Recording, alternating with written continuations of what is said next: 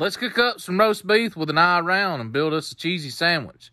Gonna season this thing up with Killer Hogs AP and 1042 brisket rub. Hit our onions with a little oil and seasoning. On the GMG ledge, running 250 degrees. After about 30 minutes, I added some au jus to the onions and covered them up. Once the roast hit 125 degrees internal temperature, pulled it off and let it rest for about 10 minutes. Sliced her up thin, put some horseradish sauce on some toasted bread, piled it with meat, and covered it with cheese sauce. This thing was ready to dip in the au jus. And look at what you got. So good!